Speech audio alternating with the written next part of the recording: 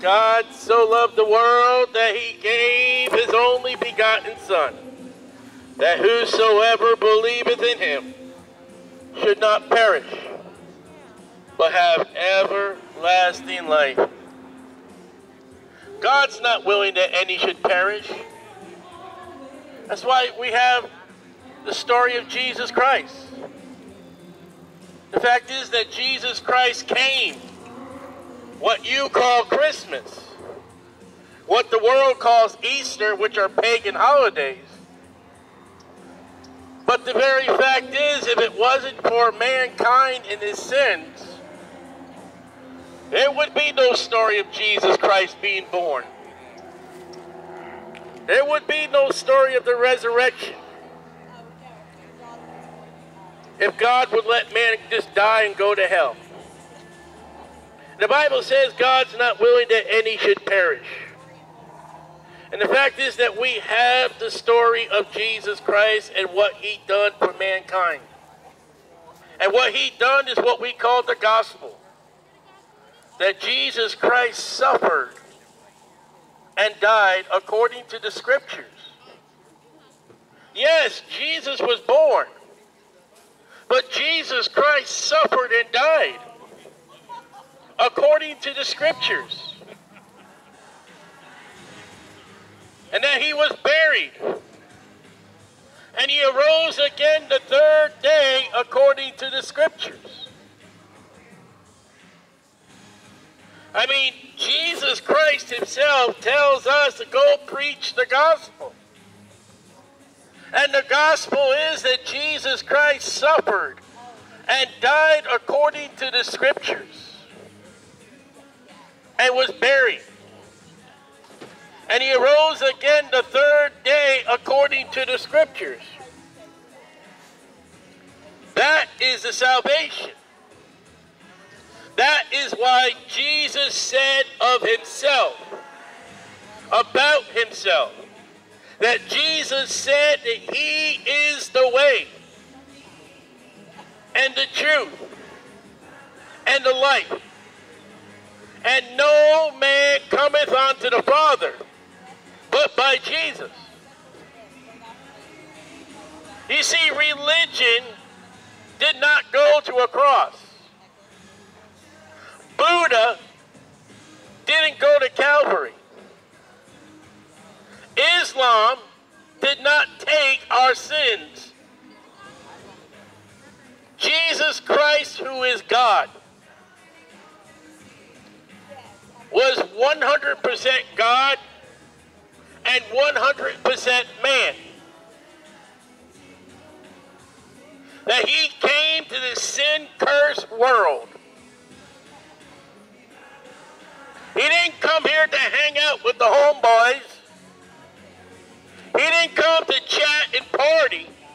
No, Jesus Christ came to seek that which is lost. And without Jesus Christ, you're lost. And Jesus tells the Christians to go in the world and preach the gospel. And the gospel is that Jesus Christ suffered and died according to the scriptures and was buried and arose again the third day according to the scriptures. That is your only access to heaven. Religion can't save you.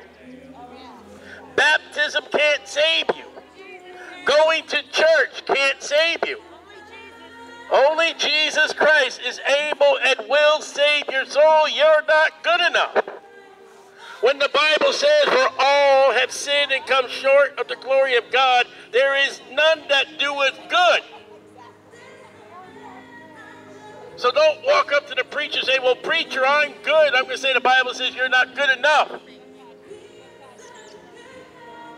The only good one is Jesus Christ. The only approved is Jesus Christ. Religion is man-made. Jesus Christ is God approved.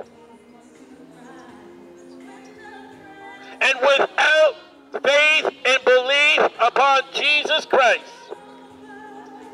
the Lamb of God which take away the sin of the world. You will die in your sins,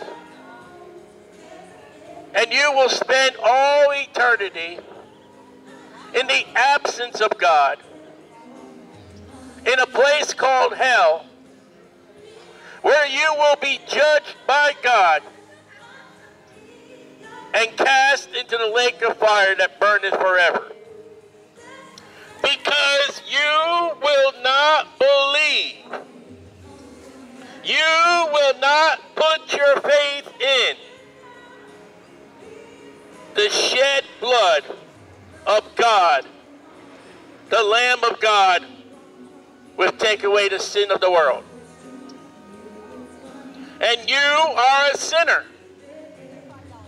For the Bible says, For all have sinned, including me. I ain't holier than now. On April 25th, 1987, I received the Jesus Christ by faith, the Jesus Christ and the means of salvation I preach. In 2021. 33 and a half years have I been preaching, and I have not I've stayed to that only Jesus Christ saves. That only Jesus Christ will get you to heaven.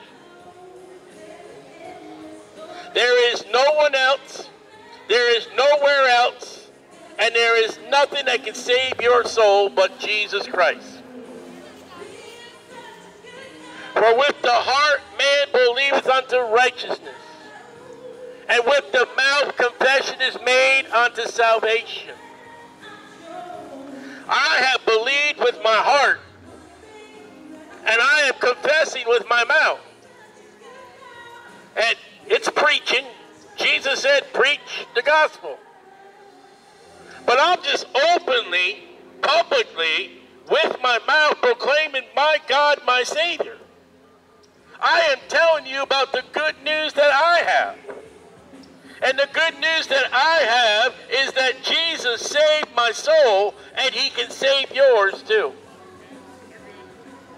There is no rejection of God for whatever you have done, whatever sins you are involved. God will never turn you away. And there are people that told me, well, I'm too wicked. I've done too wrong. And I'm here to tell you that there is nothing too wicked that God can't wash and cleanse you. That the Bible says if we confess our sins, He, God, is faithful to forgive and to cleanse. Your human priest can't cleanse you. He's a sinner himself. God has not ordained a priest class of people for the absolution of sins. God has ordained the finished work upon Calvary's cross. God has ordained the Lamb of God would take away the sin of the world. A priest can't do that. But the great high priest Jesus Christ is able to save your soul and cleanse you of your sins. He is the mediator between God and man. And the Bible says that that mediator is between God and man is the man Christ Jesus. It can't be a woman when the Bible says the man, Christ Jesus, is the mediator. And if you try to teach and promote a female as the mediator, such as Mary, you are deceiving and preaching a lie. Because the Bible never says Mary can do anything. The Bible says that Allah can't do anything. The Bible says that baptism cannot wash away your sins. But the Bible does say that if you believe with your heart and you confess with your mouth Jesus Christ, the Son of God, and put faith and belief in his finished work, thou shalt be saved. Whosoever shall call upon the name of the Lord. The apostle said, Believe on the Lord Jesus Christ, and thou shalt be saved. No apostle of the Bible said, Go to church. No apostle said, Get baptized for salvation. They said, Believe on the Lord Jesus Christ, and thou shalt be saved. Salvation and going to heaven rest upon what Jesus done and what you can never do. You can't get yourself to heaven. Your religion can't get you to heaven. Only faith and belief in Jesus can get you to heaven. Believe on the Lord Jesus Christ, and thou shalt be saved. Baptism comes after salvation. Going to church after salvation. Church and baptism is never salvation. There are people in hell today and they went to church. And there are people in hell today, they were baptized. And there are people in hell today, they had a religion. What they did not have is the faith and belief in Jesus Christ alone. And when you reject Jesus Christ, God will reject you.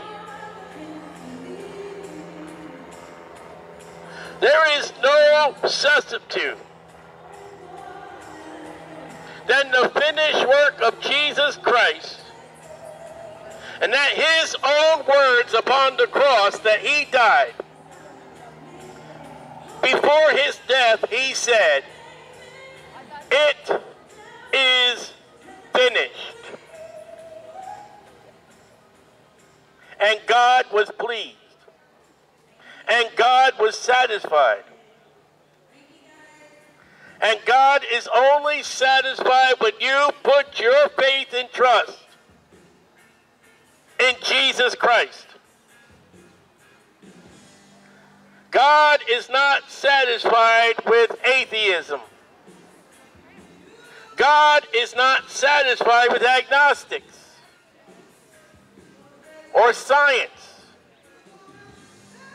or Baptist or Catholic or Presbyterian. God is satisfied in the blood of his Son, the Lord Jesus Christ.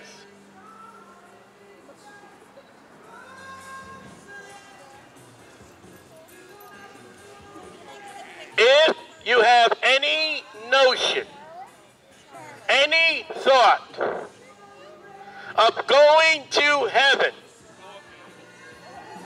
you must believe on the Lord Jesus Christ to be saved. Because without Jesus Christ, you're not going to heaven. And that is a standard of measurement set by God. God says if you want to come in his presence, Jesus said, I am the way, the truth, and the life. And no man cometh unto the Father, God, but by Jesus. There is no substitute. There is no other way to heaven except through the way of Jesus Christ and Jesus Christ alone. You won't get to heaven by accident. You can't have wishful thinkings of getting to heaven. You can't do nothing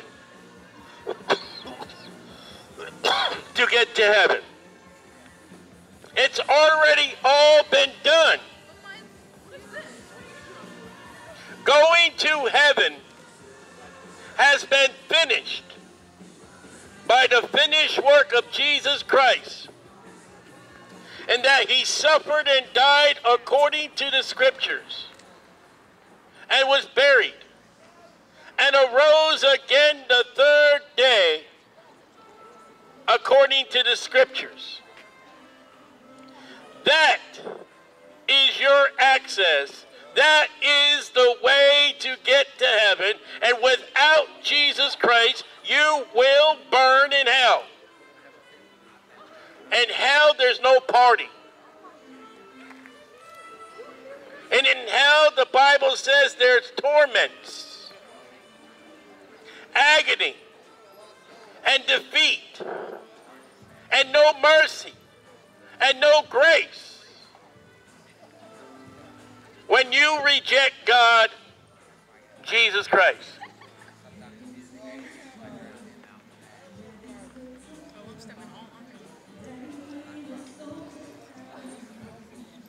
What you do with Jesus will determine where you go when you die. The wages of sin is death. You're going to die because you're a sinner. But the gift of God is eternal life through Jesus Christ, our Lord. Salvation is a free gift. Reject a gift? And yet God is offering you a gift. And the gift of God is Jesus Christ. For God so loved the world that he gave his only begotten Son, that whosoever believeth in him shall not perish, but have everlasting life.